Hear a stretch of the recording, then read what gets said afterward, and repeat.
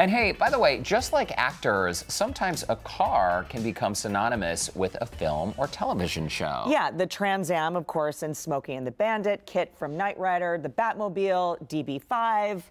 James Bond, mm -hmm. right? Yeah. Okay, but arguably none are more iconic than the DeLorean Back to the Future. Well, and get this, so soon you will be able to buy one for the first time in 40 years. A new all-electric model DeLorean has been announced with production planned in 2024. Something tells me it's not going to be cheap. Probably not. The classic DeLorean Motor Company is just up the road in Humble, and we sent Mel to check out the DeLorean of the future. See what we did there? Hi, Mel. Hey, yeah, well, I'm back. Well, actually, I wanted this to work. I'm back from the future, but not really. It's like the past of DeLorean is just down the road in Humble. It's absolutely amazing. The classic DeLorean is pretty cool, and everyone there is really excited about the new one. So, um, it was pretty awesome to go check it out. Take a look at this.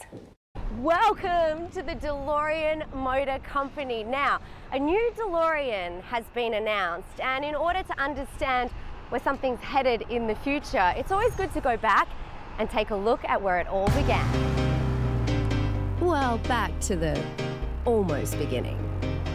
Classic DeLorean is where it all began between John DeLorean's company, our stewardship since the mid 90s, and now the Carry On company that has the evolutionary model.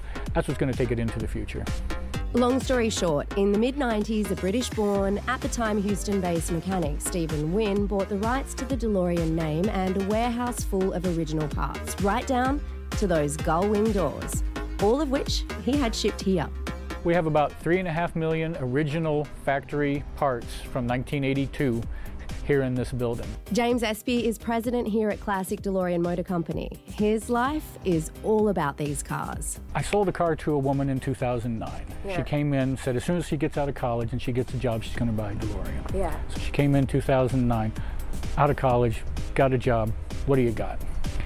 We're engaged now. Yep, he even met the love of his life because of a DeLorean. I started here in the summer of 99, and when I started here, I wanted there to be a new DeLorean, not just the original classic DeLorean.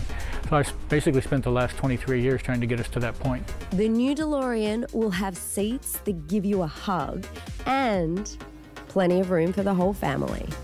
Fully electric, it will easily reach 88 miles per hour, but it's not going to come with flux capacitor capacity. I think it's a great evolution of where the company would have been had they continued. It was never meant to be a, another classic car. It was meant to be, I mean, 40 years, 40 years. I mean, probably a lot of people watching the show weren't even born when the original DeLorean came out. So it had to be evolutionary. It certainly did. So, is James getting a new DeLorean? Uh, I'm hoping I'm getting one for a company car. As excitement builds around the first new model in 40 years, the classic DeLorean continues to hold a place in many hearts.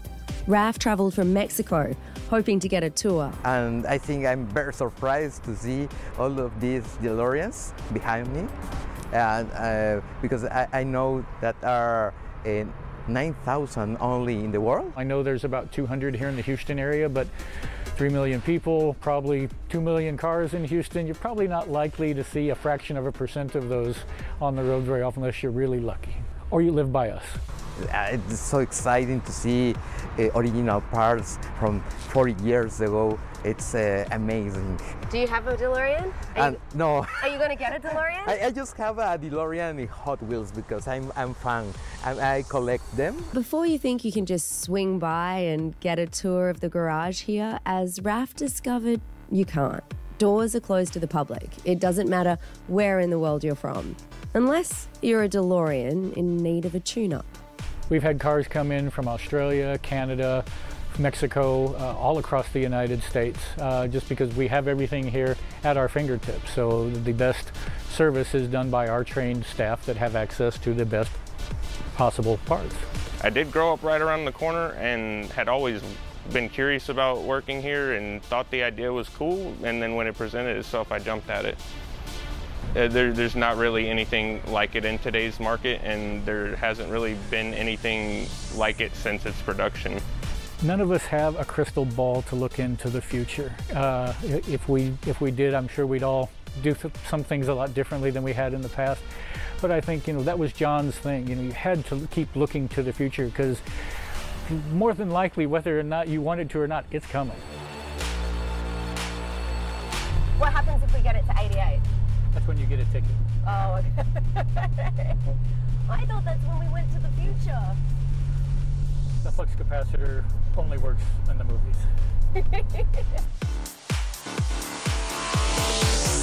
Oh my gosh, totally epic. And you know what?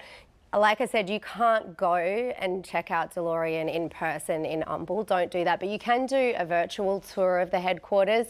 And um, to do that, just head to houstonlife.tv and go check it out there. So yeah. Okay, how was it driving it? Oh, okay. Honestly, I'll be honest. Back in the and there's a reason why it it looks like a supercar, but it doesn't drive like a supercar.